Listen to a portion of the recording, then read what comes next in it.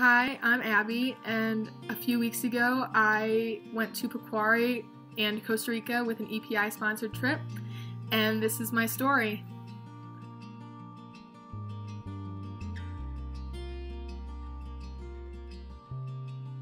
Looking up into the brilliant sky as I walked to the beach at Pacuare at 1 a.m., I slowly but surely found myself falling in love with Costa Rica and Pacuare.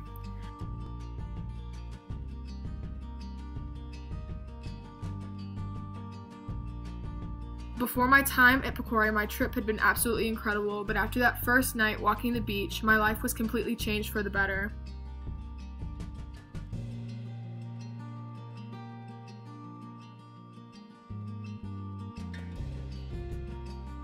I don't know if it was the serenity of the beach at night, the incredible sight of baby turtles finding their way to the sea for the first time, or helping my first mother leatherback lay her eggs, but somewhere in my trip, and my time at Pacuare, Costa Rica captured my heart in more ways than I thought was possible.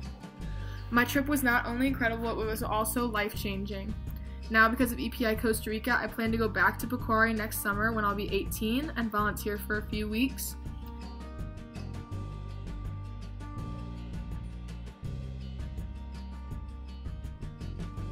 Also, through EPI Costa Rica, my plan for life has changed.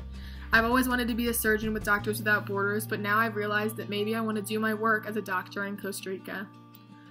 I know that you probably hear this a lot, but when I say that EPI altered my life, I really do mean it. I found a happiness and a peace in Costa Rica and in Pacuare that I've never achieved before.